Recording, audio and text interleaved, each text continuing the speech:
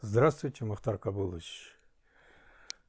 Я сегодня вновь обращаюсь к вам с той же просьбой опубликовать мое обращение. Здравствуйте, уважаемые казахстанцы. Сегодня, 8 февраля 2021 года, заканчиваются полномочия всех органов управления Общественного объединения Казахского общества слепых. Это означает, что 9 февраля 2021 года в Казахском обществе слепых нет полномочий кому-либо представлять это общественное объединение. В этой связи Генеральная прокуратура должна дать правовую оценку этому событию, вынести представление Министерству юстиции, чтобы Министерство юстиции сняло общественное объединение Казахского общества слепых с реестра юридических лиц.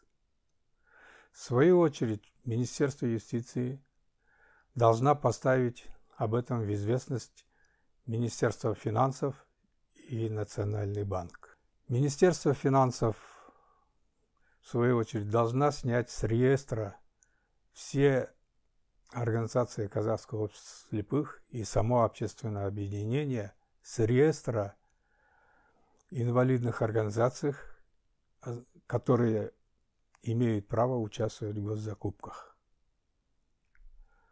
А Национальный банк должен поставить в известность банки второго уровня, которые тоже в свою очередь во всех организациях Казахского общества слепых должны прекратить обслуживание этих организаций. Казахское общество слепых – это некоммерческая организация, поэтому она в первую очередь, функционируя, э, руководствуется в первую очередь Конституцией, законом о некоммерческих организациях, законом об общественных объединениях, ну и, наконец, уставом Общественного объединения Казахского общества слепых. Согласно этому уставу, полномочия органам управления выдаются сроком на 4 года. Внеочередной 20-й съезд, который проходил 8 февраля 2017 года, избрал руководящие органы общественного объединения и дал им полномочия до 8 февраля 2021 года. То есть сегодня истекает срок полномочий всех органов, кроме одного органа. Этот съезд не избрал постоянно действующий исполнительный орган, который по уставу является президент Поэтому даже все эти четыре года общественное объединение работало без постоянно действующего исполнительного органа, а по закону, если нет у юрлица постоянно действующего исполнительного органа, то это юрлицо не является юри юридическим лицом и не может функционировать. Но тем не менее, все эти четыре года – наши организации незаконно участвовали в госзакупках и освоили миллиарды тенге. И при том освоили все это незаконно, и при том с нарушениями и с присвоениями государственных средств. В этом случае, конечно, с 9 января вернее февраля, общественное объединение по закону не имеет права функционировать. Но тем не менее существует такое понятие «для кого-то закон не писан». Вот в данном случае закон не писан для общественного объединения Казахского общества слепых. И, возможно, и при данном случае это будет продолжаться И несмотря на то, что у них нет полномочий, общественное объединение будет продолжать функционировать. Я бы сказал, в нашей стране существуют двойные стандарты. Есть официальная Конституция Республики Казахстан, согласно которому статья 1 Конституции провозглашает нашу республику социальным, правовым и демократическим государством. Есть для того, чтобы понять, что существует двойной стандарт, надо немножко иметь понятие, что такое право. Я прекрасно знаю, что юристы все знают, что такое право, но основное население нашей страны не имеет понятия права. И поэтому я бы сейчас хотел разъяснить основу этого права, чтобы понять, что такое двойные стандарты. Что такое право? По этому понятию самое лучшее определение, на мой взгляд, дал Владимир Ильич Ленин. Именно по Ленину право – это возведенная в закон воля господствующего класса. В нашей стране господствующим классом, конечно, является кучка высокопоставленных чиновников, а также кучка олигархов, обслуживающих этих чиновников. Формально, по Конституции, воля, возведенная в закон от имени народа. А в реальности это воля именно этого класса чиновников. К этим, кто возводит волю в закон, мы относим и нашего Наурзбаева, который, которого мы уже причислили к этим олигархам. Вот если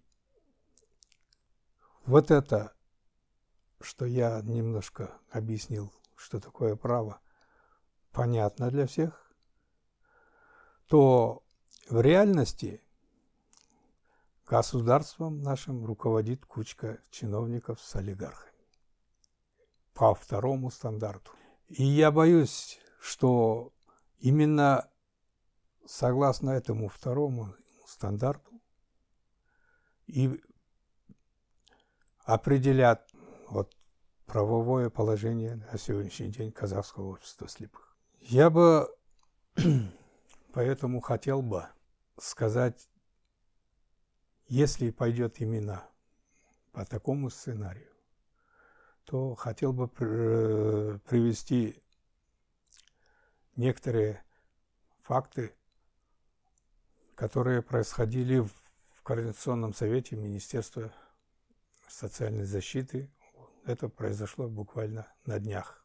На этом Координационном совете наш Наурузбаев наглым образом потребовала от министра юстиции, э, социальной защиты, чтобы он принял меры к вице-министру Аукенову, который якобы изложил факты, которые не нравятся Наурзбаеву.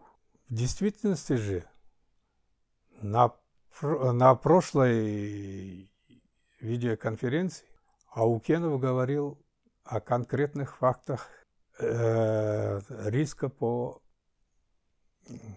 госзакупкам в этой сфере. И приводил конкретные факты. К примеру, он говорил, что поставки, поставщики инвалидных организаций делают с разницей в 10 раз по цене. Ну, конкретно вот взять пример с ноутбуками, которые стоят 65 тысяч, а их реализуют по 650-750 тысяч тенге. А в, оптовых ценах эти ноутбуки стоят вообще 45 тысяч тенге. Он также говорил о том, что поставляют вторичные товары речь шла о читающих машинах, которые закупались за 30-50 тысяч тенге, а поставлялись за 650-750 тысяч тенге.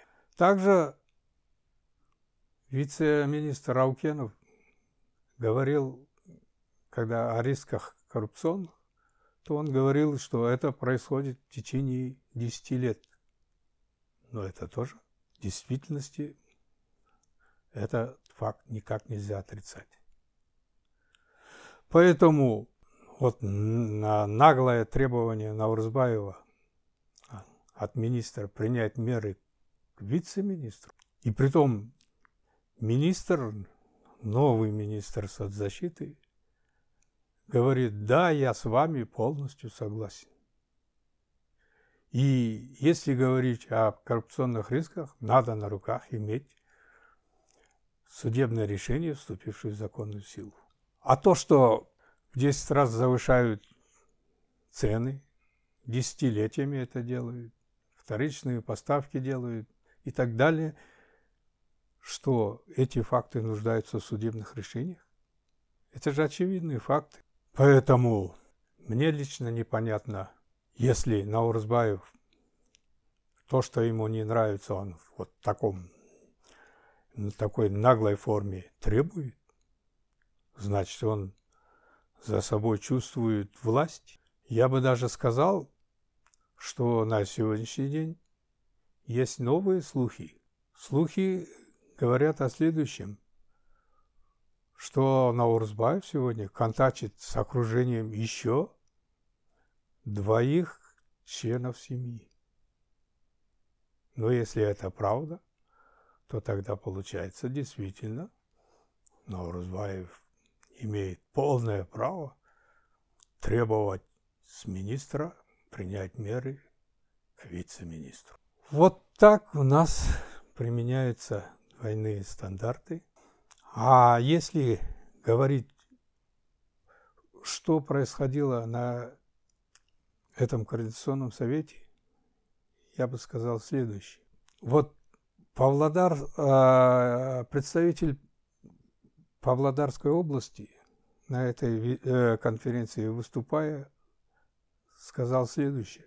Я поддерживаю полностью Наурзбаева. В нашей области прокуратура проводила проверку и вынесла представление вернуть э, государству эти 5%, которые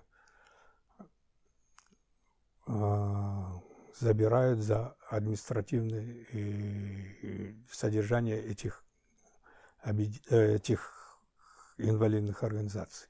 И говорит, мы их, эти деньги уже давно потратили, как им их вернем? И нам становится страшно от таких проверок. В действительности этот представитель испугался другого факта. Прокуратура Павлодарской области обнаружила, что по договору фонда Ерекше Тандау договор был составлен на 236 миллионов тенге. Из них более 35 миллионов тенге этот фонд просто украл. И, конечно же, прокуратура обязывает эти деньги вернуть. А если говорить о 5%, которые надо возвращать от суммы договора в пользу государства, тут надо сказать следующее. Примеру, тот же Ерекше Тандау, а вместе с ним общественном объединении неунывающих инвалидов есть и э, другой фонд МИРМ. Они заключают по 40 договоров в год. И если Эриксе Тандау 40 договоров, если взять, к примеру, в среднем один договор 200 миллионов тенге, то 40 договоров будет 8 миллиардов тенге. А 5% составит 400 миллионов тенге. Получается, 400 миллионов только получает государственных средств 1,5 Ерикше Тандау. Точно самое происходит и в фонде Миром. Получается, эта сумма удваивается 800 миллионов тенге. А если взять, к примеру, что прошлые года брали и 10%, кое-когда и 15% от суммы договора. Получается, если даже 10% брали, то эту сумму 800 миллионов удваиваем. Получается больше полтора миллиарда тенге денег выходит только по двум э, корпоративным фондам, но это притом обслуживает эти два фонда всего человек пять. Это разве не воровство? Это разве не факт, господин министр? Скажем теперь еще на том же примере корпоративного фонда Ерикси Тандау. В городе Алматы э, управление э, благосостояния города Алматы подало иск на корпоративный фонд Ерикси Тандау на сумму 163 миллиона тенге. Они осуществили поставку ноутбуков, и при том по техническим параметрам договор не выдерживает и занижен в два, более чем в два раза э, параметры. То есть договор э, судом первой инстанции признан незаконным, и ущерб, естественно, Ирик Шитандау государству нанес на 163 миллиона тенге. Но апелляционный суд города Алматы вынес новое решение, в котором признал законным поставку этих ноутбуков на сумму 163 миллиона тенге. В этом случае тогда получается виновата в хищении этих ущербе, нанесенном э, государству на 163 миллиона тенге, это управление социального благосостояния города Алматы. Тогда в этом случае, господин министр, надо принять меры к руководству этого управления. Пусть возвращают государству 163 миллиона тенге. Но если говорить, как происходило это, действительности суд первой инстанции вынес, я бы сказал, решение обоснованное на железобетонных фактах и э, мотивировала действительно такими фактами, что это решение поломать было невозможно. Но тем не менее, апелляционная инстанция приняла совершенно другое решение. Ну, если вы не согласны, господин министр, с этим решением, тогда подайте ходатайство на пересмотр данного решения. И я уверен, что факты на стороне управления и должен нести ответственность именно фонд Ирик Шатандау. И напоследок я хочу еще один пример привести. На прошлом Координационном совете, говорил э, я о том факте, что в Козларде фонд Сырдарья полностью осуществила поставку ноутбуков на 81 миллион тенге, а эти 85 милли... 81 миллион тенге забрала казахских слепых на свои счета. А ведь фонд у него совершенно другие задачи. Оказывать благотворительность, материальную помощь, помощь на спортивные мероприятия инвалидов, на лечение инвалидов. Да много там разных э, э, понятий, на что нужно потратить фонду деньги. Ну, полностью забрать все 81 миллион тенге, да вообще он, Наурзбаев, не имеет права ни тинки забирать с этого фонда. Ну, забрали. Это настоящий беспредел. И такую ситуацию, не вникнуть в нее новый министр говорит, да, Наурзбаев, я с вами полностью согласен. Вот что происходит в действительности в нашей стране. Это настоящий беспредел. И только по одной причине, как мы уже объясняли, Наурзбаев входит в ту группу олигархов, которая диктует свою волю нашему государству. Я не знаю, что предпримет Генеральная прокуратура или Министерство юстиции. Но если будет принят вот второй э, вариант, что придерживаться будут не Конституции, а волю олигархов и чиновников, то действительно нашему государству приходит конец. Спасибо за внимание. И я благодарю вас за то, что вы смотрите и слушаете меня.